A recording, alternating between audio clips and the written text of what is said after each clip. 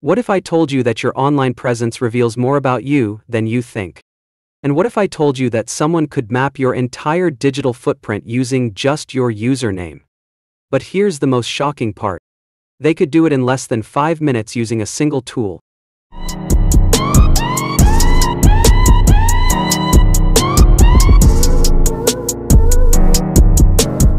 Welcome back to Tech Sky. Today, we're diving deep into the world of OSINT and exploring a powerful tool that's revolutionizing digital reconnaissance. But before we begin, we need to address something crucial. The knowledge you're about to gain carries significant responsibility.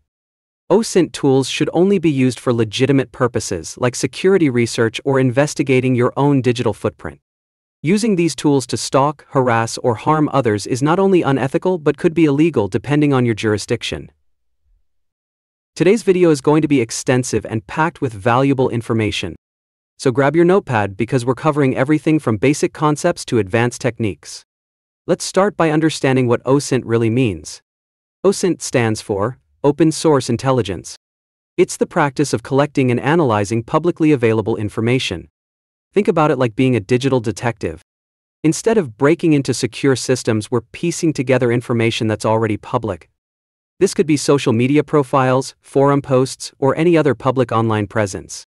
In the world of cybersecurity, OSINT is crucial for several reasons. Security professionals use it to understand their organization's digital footprint. Penetration testers use it in the reconnaissance phase of security assessments. And individuals can use it to audit their own online presence.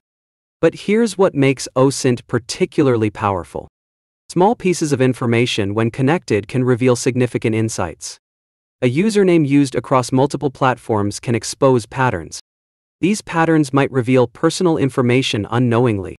That's why tools like TookieOSINT are both powerful and concerning. Speaking of TookieOSINT, let's understand what makes it special. Unlike basic search tools, it offers around 80% accuracy in username searches. It can scan hundreds of platforms simultaneously. And it provides an intuitive interface that makes information gathering straightforward.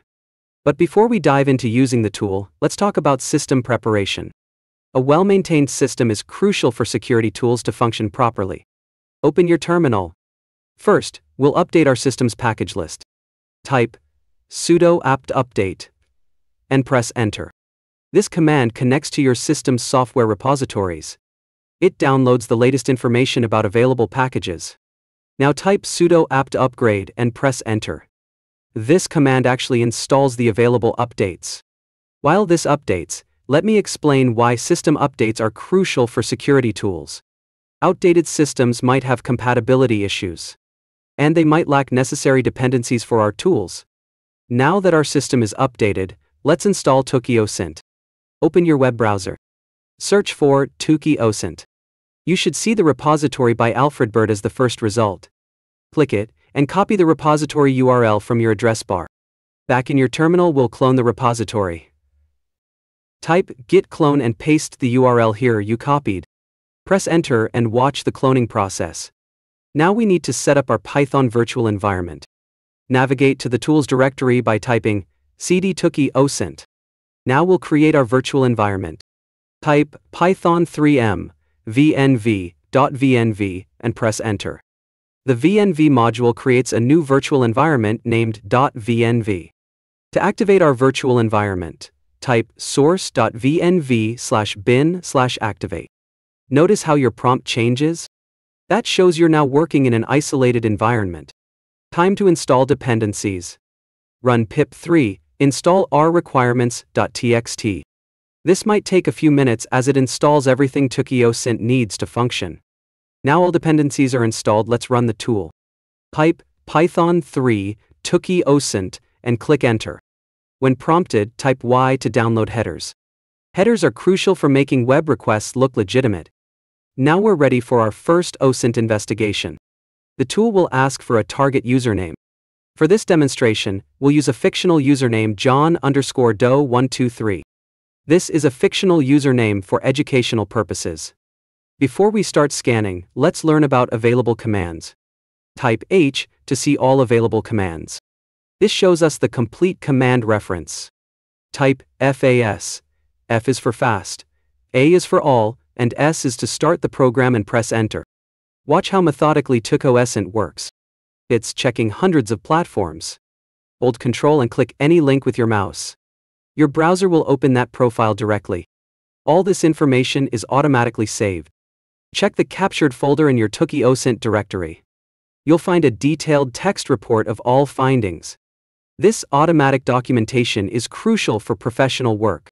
Now let's talk about protecting yourself from OSINT. Use different usernames across platforms. Regularly audit your public information. Be cautious about cross-linking accounts. Consider using privacy settings effectively. And regularly search for your own information.